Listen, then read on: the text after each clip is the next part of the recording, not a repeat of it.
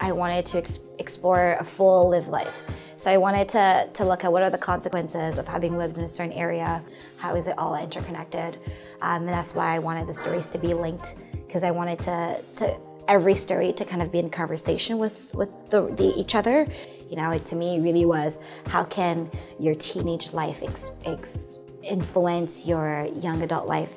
How can your childhood influence you at your, in your 30s? Um, so yeah, I wanted to just, I wanted a full picture.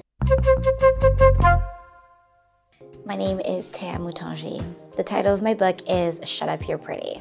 Shut Up You're Pretty is a collection of linked short stories following Loli, which is the protagonist and the narrator of the entire collection.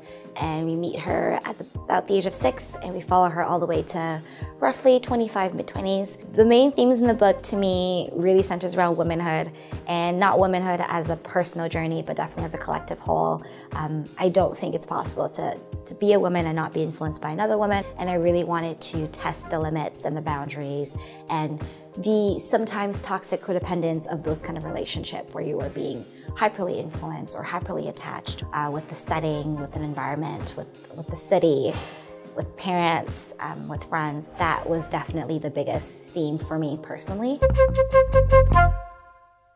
There is a humongous amount of emotional labor that comes with being a writer of color. I'm not a non-writer of color, so I can't really speak to that to that reality. But in my experience, the second I, I published my book, it's like my, my workload of that identity got like tripled, where now I'm having these discussions on um, immigrant livelihood and on what it means to be a person that belongs to one country but to another as well. Now I'm having it professionally on a professional level and I'm having it in network circles, but I'm also surprisingly having it now in my personal life.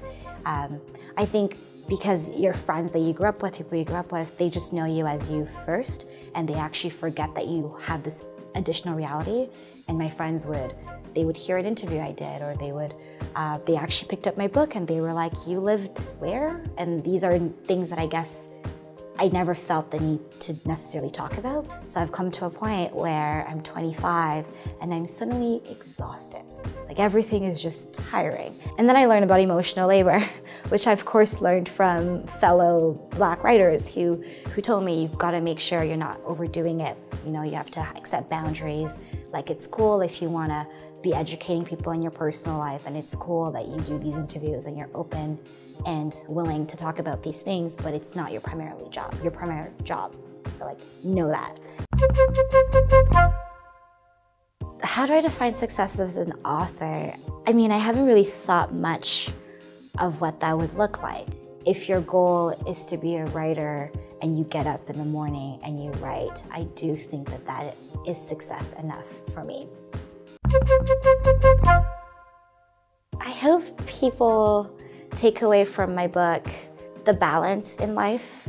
I try to look at, at um, motherhood through the eyes of balance, when it could be not good, when it can't be good. And I try to look at independence the same way, friendship, love, healing, all of that. Like I, I really hope that people can find the balance in their lives through reading Loli's journey to balance, I guess.